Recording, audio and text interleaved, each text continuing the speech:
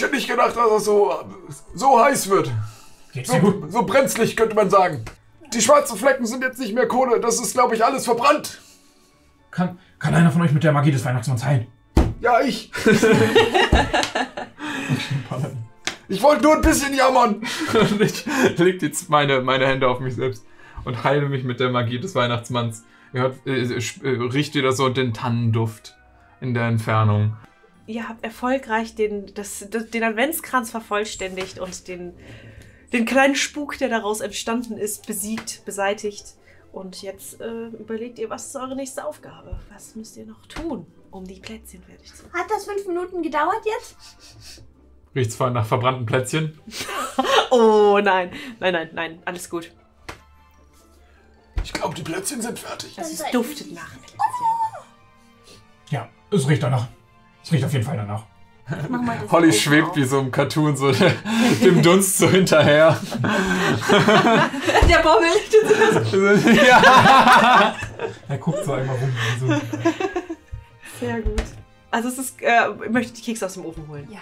Kein Problem. Die sind perfekt gebräunt, werden gerade so am Rand leicht bräunlich und der Rest ist perfekt Oh, durchgebacken. das sieht alles sehr gut aus. Oh, ich mag auch, dass der Ofen des Weihnachtsmanns so gleichmäßig backt, dass nicht plötzlich an der einen Seite die schon dunkler sind als auf der anderen Seite. Das ist einfach schön, Magie. Ich, äh, ich, mein, ich nehme mein äh, äh, Canon äh, feuerfestes Kissen und benutze es als, Sehr gut. als Ofen mit und, Das gelingt dir.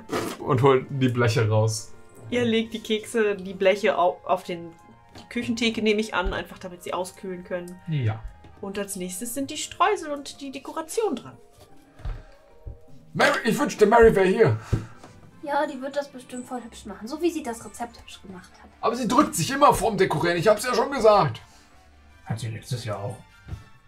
Vielleicht mag sie das einfach nicht. Vielleicht hat sie zu viel Angst, es falsch zu machen, weil sie so perfektionistisch ist. Das ist ihr, wie ich meine. Nee, lass anfangen. Naja, also ich bin auch ganz schön tattrig. Aber ich kann, ich kann euch vielleicht helfen, dass ihr es besser könnt. Wir ja nur drüber. Du kannst ja den Zuckerguss drüber verteilen und wir machen das mit den, mit den, mit den, wo man, wo man kann. Naja, pa also, Parkinson hat. Die müssen da doch nur drüber.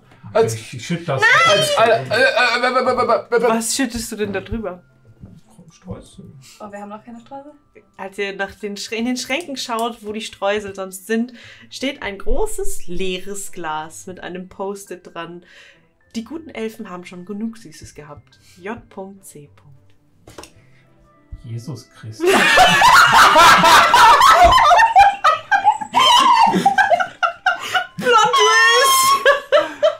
Verdammt! Jesus hat uns unsere Zuckerstreusel geklaut! Es tut mir leid, nichts, was du in diesem Adventure jetzt erzählen kannst, macht es besser, als wenn Jesus Christus uns die Zuckerstreusel geklaut hat.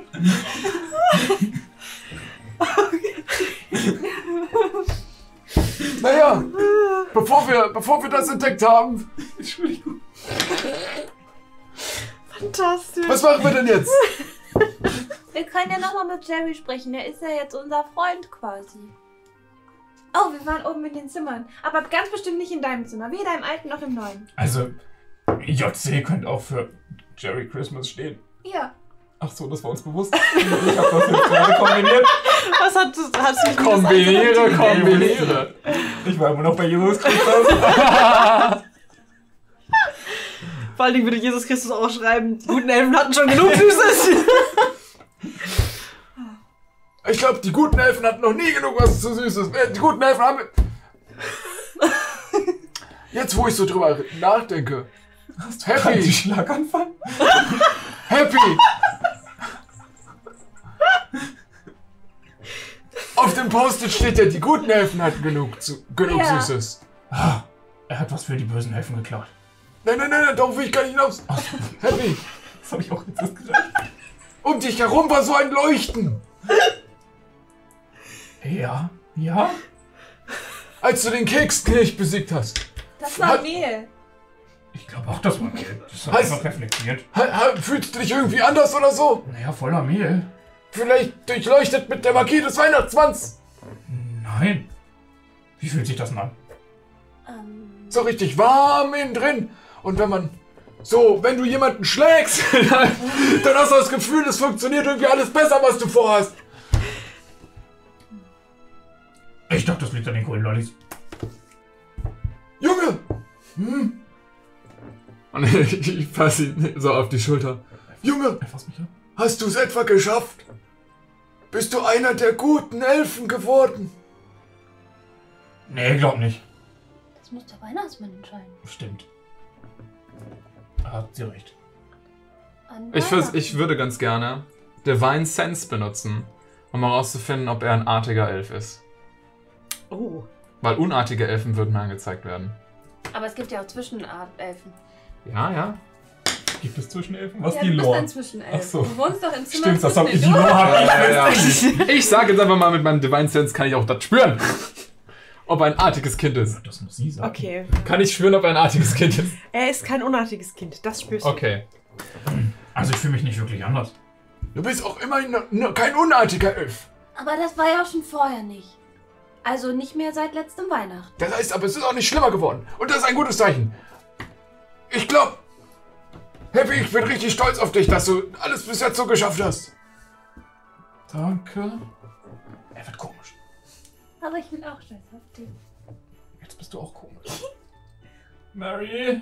Wir sind alle stolz auf dich. Mary!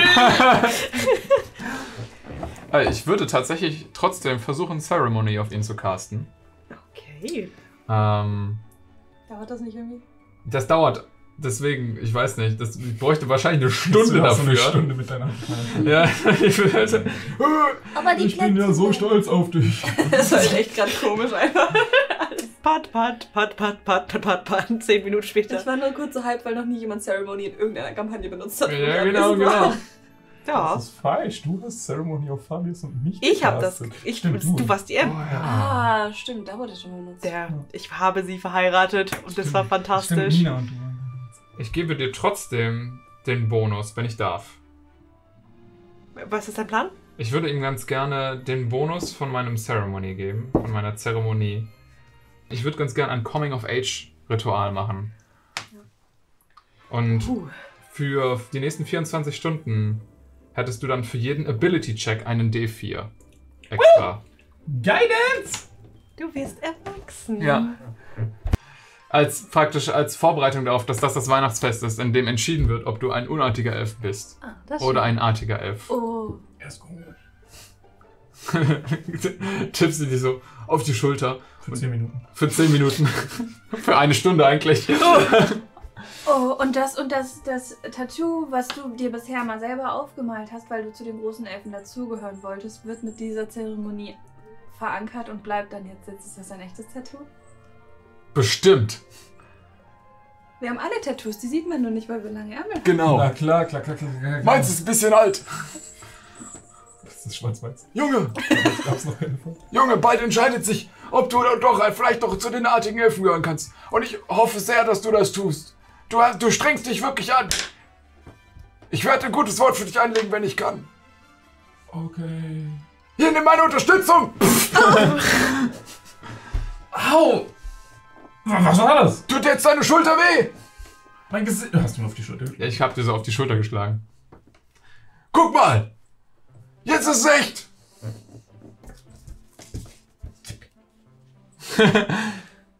oh mein Gott, es ist wirklich echt. Ich hätte nicht gedacht, dass das funktioniert. Ich hatte schon immer in mir, ich wusste es. Fantastisch.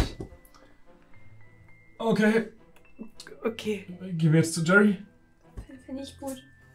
Du kannst ja auch immer noch mit ihm reden. Ihr wart ja mal fast. Die Heilige, weil sie kommt. Dann nennt ihr euch so ein bisschen einfach ein bisschen out of space. Ich finde ihn auch komisch, aber vielleicht hilft es dir ja bei diesem Weihnachtsfest. Ich glaube, es hilft mir ein G4. Das war trotzdem komisch. Okay. Ihr, Entschuldigung. Glaubst du denn, du wirst dieses Jahr ein guter Elf oder bleibst du ein, ein, ein Elf, der dazwischen ist? Weiß ich nicht. Muss ja der Weihnachtsmann entscheiden. Ich habe eine andere Frage. Hm. Hat man dir auch eine Stunde auf die Schulter geklopft? Ähm, ja. Oh. Letztes Jahr. oh. Okay. Ich habe auch ein Tattoo. Das ist so eine, eine Zuckerstange, die umrahmt ist von kleinen Eiskristallen. Zeig mal. Na klar, guck mal hier. Alles mal. Ja, wo ich mein Tattoo habe, das kann ich euch nicht zeigen. Was ist es? denn? Me- Meinte du? Ja. Ich, ich weiß nicht, ich kann es selbst nicht sehen. Das ist ein Weihnachtsmann Tribal. ich, Arschgeweih. Ein Arschgeweih, da war ich auch. Ein Arschgeweih, das aussieht wie ein Rentiergeweih. Mit so einer Weihnachtsmütze. Sollen wir dann mal, sollen wir, sollen wir mal gucken? Hast du schon länger nicht mehr gesehen? hey, ist auch okay.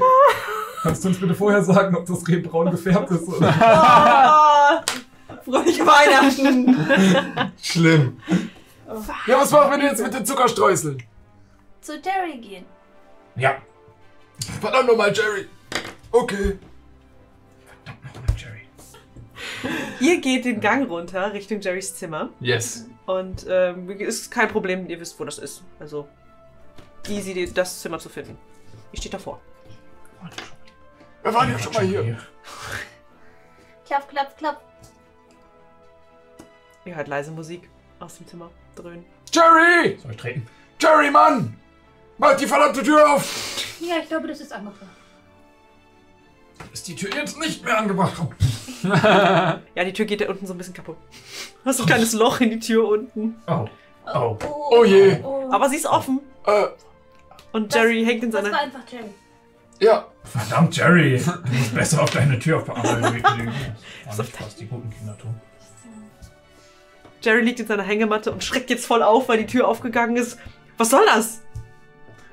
Mann, Jerry, deine Stimme hat sich ganz schön verändert. In dieser Stunde, in der wir weg waren. Was soll das? Wir suchen ein paar Zuckerstreusel. Hm, ja, die gibt's nicht mehr. Bitte? Die hab ich alle aufgegessen. Du hast, Du hast die Streusel alle du gegessen? hast Zuckerstreusel so gegessen? Ja. Wir kriegen sonst keine Süßigkeiten. Immer kriegen die blöden, tollen, netten Elfen alles. Die artigen Elfen heißt das. Ja, halt die, die nicht in Hängematten schlafen. Schlaf doch nicht in Hängematten. Ich hab ein Bett. Du sowieso.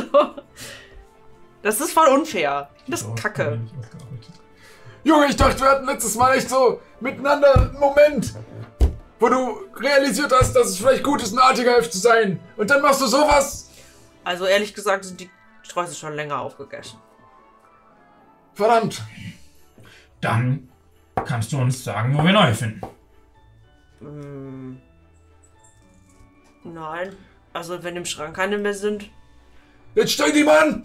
Also ich meine, vielleicht könnt ihr bei der in der Schokoladenfabrik welche machen. Oh, das ist schwierig. Oh ja, da haben wir vielleicht ein paar Brücken abgebrannt. Oh, jetzt fällt mir wieder ein, dass ich die Oompa Loompas verätzt habe. Du hast was? Oh, Du hast was? deshalb habe ich gefragt, weil vielleicht komme ich zu dir, zu den vielleicht artigen, vielleicht unartigen Kindern. Du hast was? Ich habe angegriffen. Das mit dem artig unartig ist sowieso doof. Das ist voll unfair. Da hat er nicht unrecht. Ja, D der Weihnachtsmann hat auch einfach meinen Bruder Barry auf die böse Liste geschrieben und ich habe gesagt, dass ich das doof finde und habe ihn Doofmann genannt. Und jetzt bin ich auch auf der bösen Liste.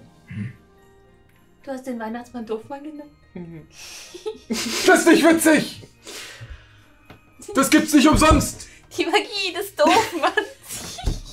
Hey, bitte auf der bösen Liste. Nein. Also, Aber ich habe das Gefühl, Jerry hat irgendwie voll viel Spaß so.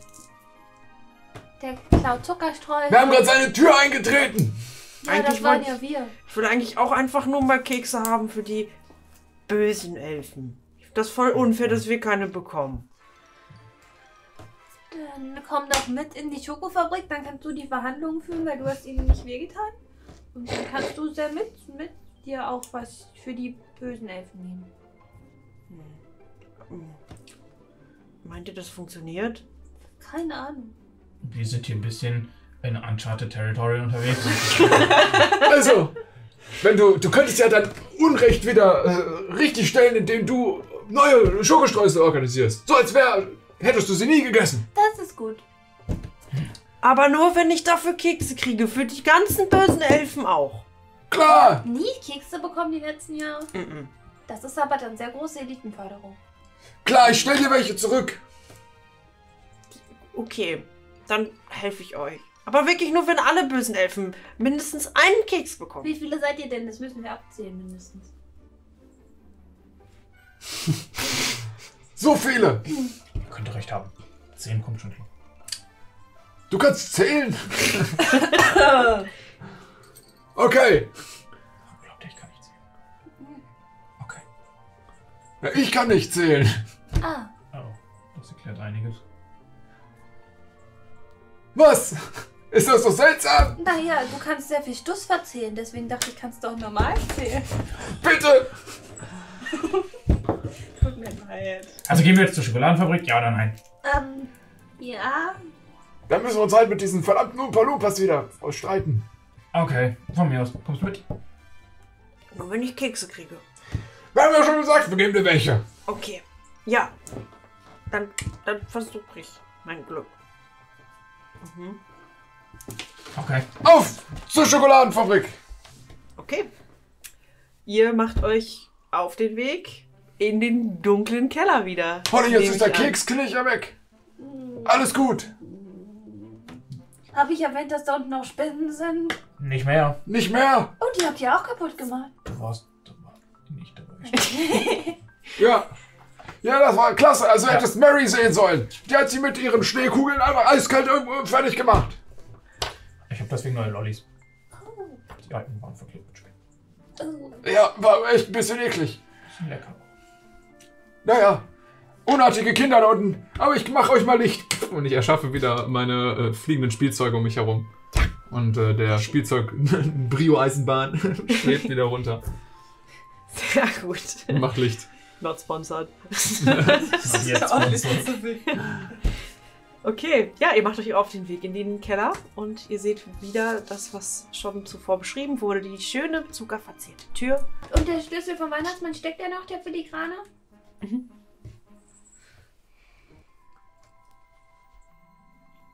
Klick. Kein Problem, die Tür geht auf. Was mit den anderen sechs Schlüsseln? Das war die Tür zum Keller. Okay. Und ich versuche sie aufzuziehen. Auch kein Problem.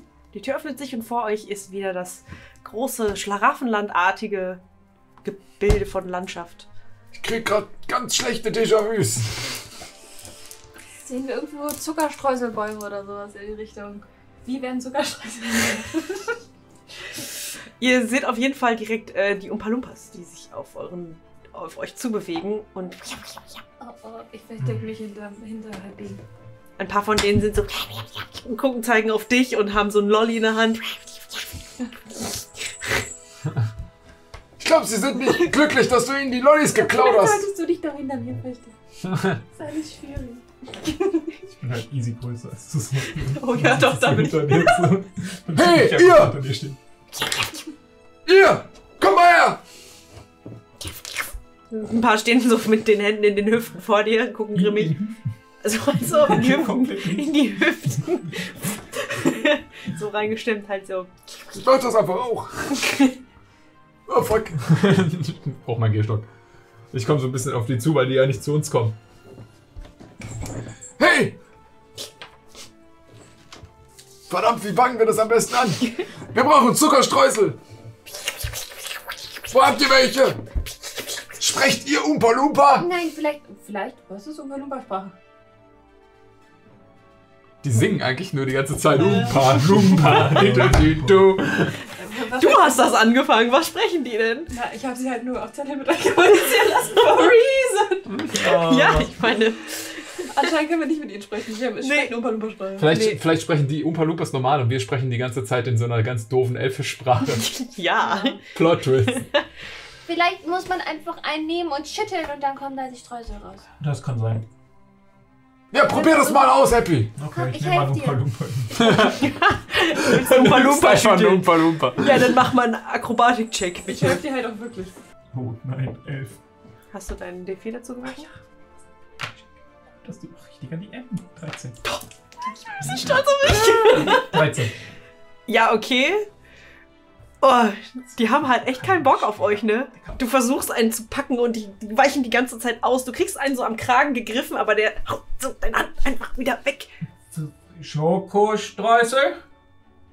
Ähm, Schokostreusel. Bist du so einer, der einfach langsamer oder lauter redet mit Leuten, die, die nicht verstehen? Was? Ich glaube, lauter hilft auch. Schokostreusel! Wir hoffen, euch hat dieses Türchen gefallen. Morgen geht es genau hier weiter mit den Abenteuern von Happy, Jolly, Merry und Holly Christmas. Wir haben auch ein Geschenk für euch. Im Rahmen dieses Adventskalenders haben wir ein Gewinnspiel mit der Unterstützung von fantasywelt.de. Da findet ihr alles, was euer Rollenspielherz begehrt. Wir verlosen nämlich am 6., am 12., am 18. und am 24. Dezember jeweils einen Gutschein im Wert von 15 Euro. Kommentiert dazu einfach dieses Video. Wenn ihr also alle Videos von unserem Adventskalender kommentiert, dann landet euer Los sechsmal pro Verlosung in unserem Topf. Und die Gewinner geben wir dann bekannt auf unserem Instagram-Kanal und auf unserem Discord-Channel. Die Links zu beiden findet ihr hier in der Videobeschreibung. Und wenn ihr uns da abonniert oder mit uns zusammen da kommuniziert, kriegt ihr auch mit, wann alle anderen News passieren und wann wir sonst so live sind jetzt im Dezember. Ansonsten, bis dahin und bis morgen. Bis dann. Bye.